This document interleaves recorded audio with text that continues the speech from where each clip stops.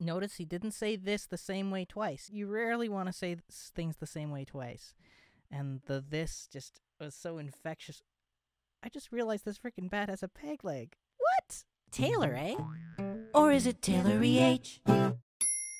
Hi there. My name is Taylor Abrahamse. I'm a professional voice actor in Canada, guy. I lead voice acting workshops out of my studio here. That was paid for with voice acting work. And I thought I'd do some videos where I delve in and critique some voice acting. Today we're going to watch a show that's coming to Cartoon Network on July 1st called Mao Mao. To be honest with you, I've already seen this pilot episode a couple times now. Spoiler alert, I like it a lot. So let's delve in. I love the theme song once the girl starts singing. Here's the thing about Cartoon Network lately they use very almost amateurish voice acting, but I don't mean that in a demeaning way. It adds just this really sweet level of innocence been going on since Adventure Time. Sometimes it sounds like it's the intern they're just bringing in to voice something. I get a little bit of that feel with the the theme song. Compare that to an 80s theme song where you'd have some tough guy trained rock singer doing it. In this it's much more innocent. And then you have that contrasted with Mao Mao, who you'll meet soon. Oh my god.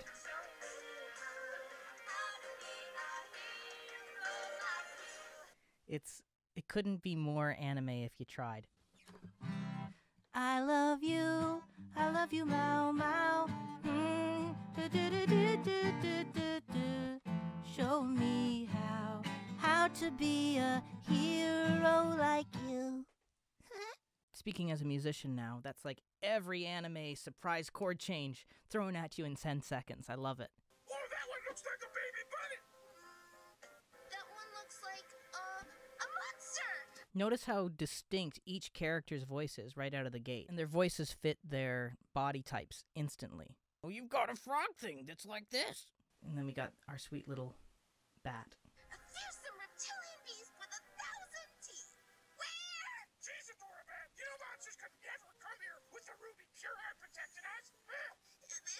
Wish I understood that line. Sometimes when you have that kind of naive voice acting, I think sometimes uh, enunciation can get lost. You trade clarity for cuteness. too much stimulation. Too much stimulation. Oh, phooey.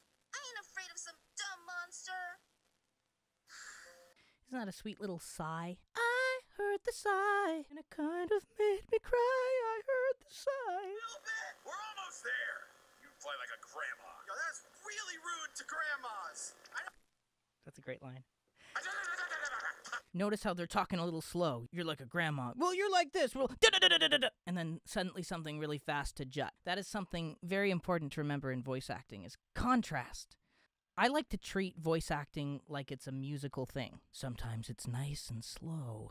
Sometimes it's huge and it's really, really fast. Sometimes it's really, really fast, but it's also really, really soft. You know, you kind of don't know what you're going to get sometimes. You've got to bring things to life so that when they're listening with their eyes closed, they see and feel everything. And you're keeping them engaged after they've heard 40, 50 people read the same lines. For that actor, it could have been some of those little ways that he seemed very serious and then suddenly broke into something really fast and then went really serious again. That might have had them pay attention. I love his laugh. Egg beater, laser beam. So the Badger guy, again, a more natural voice actor, but they've got someone more animated, more Darkwing Duck, more Puss in Boots, doing Mao Mao, which I think was a good choice. I also feel a lot of uh, Fangbone in him, who's a character that I voiced, who is very melodramatic. Ha! Here we go. This is a bad idea, man. These pirates are. Yeah, see, like supernatural, like he's almost like the stoner. Just look at the decor. Just look at the decor. Once we take down these sky pirates, our reputation will soar. And That's a cool thing to make the word that you're saying sound like the thing that it is. Our reputations will soar. So you can almost feel like something's shooting off as he says it. do that in confidence. It's cute. Who cares? It's good to have him do the contrast, and uh, especially when he's extra soft and the other guy's extra loud. I told you that in confidence. It's cute. Who cares?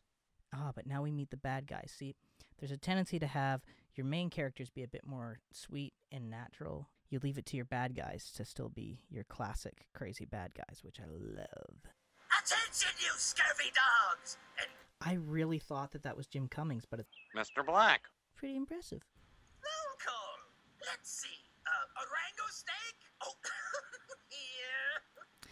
all these little giggles in it. They really let the characters laugh and giggle. That tends to be a thing that's like all the time in preschool shows. Dare you to watch an episode of The Cat in the Hat and just count how many times characters giggle. An 8 to 12 type show like this, although I'm 28 and I'm watching it. A show like this, it's cool to hear all the characters just freely giggle and do presumably improvisatory giggles. The only time that he sounds like he's reading something is when he's literally reading something off of that clipboard. Let's see. Let's see. Like I felt like he was really acting, like he was reading that. And notice how clean and tight all the transitions are when they have a line, even if they have to like change personalities halfway through a line. Maybe you're right. Perhaps we. Oh, say, what's that? Maybe you're right. Like maybe, oh, say, what's that? He probably improvised that little run on of the maybe you're right, maybe it's, he closed the gap. British people say mind the gap. I say destroy the gap. Uh, excuse me, but this is sort of a private function. He's very polite about it. I love that. And it starts trying to be like this, and then the voice goes down. I'm playing a character right now who does that quite a bit.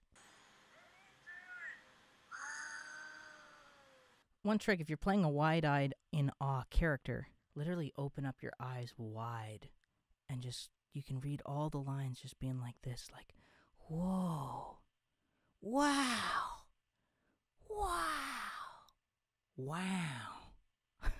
False ostrich, sir. And Ratarang. Oh, oh.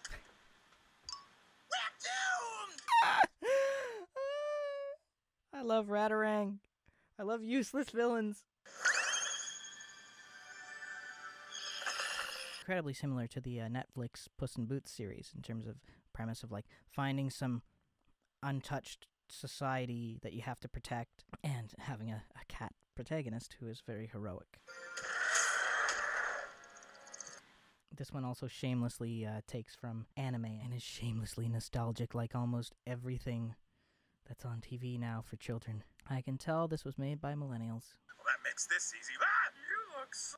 Well, that makes this easy. Wah! Again, get rid of the gaps. It's funnier. If he had taken them in for a second and then screamed, I'd slow down, kid. What do you want? I want to be that. Uh, be what now? This. Uh, adventurer? notice he didn't say this the same way twice. You never, you rarely want to say things the same way twice. And the this just was so infectious. I just realized this freaking bat has a peg leg. What? Everyone except Mao Mao seems to have some deformity. Yeah. Yeah. I want to be a hero. Well, It's like almost annoying, but too cute to be annoying, the little thing. taste. I'm. Adorabat, of course. One hour later. Back again, I had to teach a voice student. It was fun! No one here is interested in a pony! No one here is interested in a pony. No one here is interested in a pony! No one here is interested in a pony.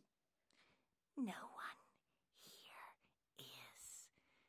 Okay, well, that's enough. and now I'm at full power, so I'm gonna give the real good voice note thingamabobber jiggers. Bye. Have a beautiful time.